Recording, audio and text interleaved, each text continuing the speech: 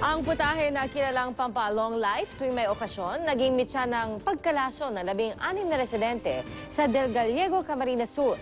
Ang sagot ng pinagbilhan nito, alamin sa report na ito. Lupay-pay na sa panghihina, ang iba nahihilo pa. Halos mapuno ang paggamutan ng mga pasyenteng iisa ang sinisisi. Yung palabok nga. Opo. Palabok po. Pansit po. Ang dapat sana'y pampa long life, naging mitya ng pagkalaso ng labing-anim na biktima sa Del Gallego, Camarines Sur.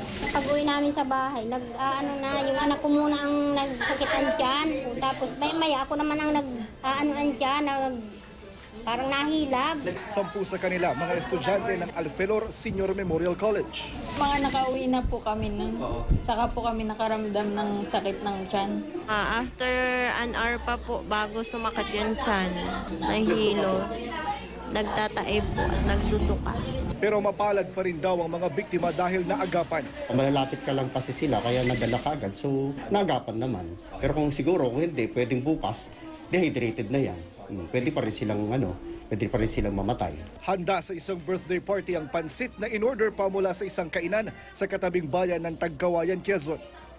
Tumangging humarap sa kamera ang may-ari nito pero ang giit niya, ngayon lang daw ito nangyari sa loob ng kanilang dalawang dekadang operasyon. Handa raw silang sagutin ang pagpapagamot ng mga na food poison at ipasuri ang kanilang mga inihahain. Jonathan Andala, GMA News.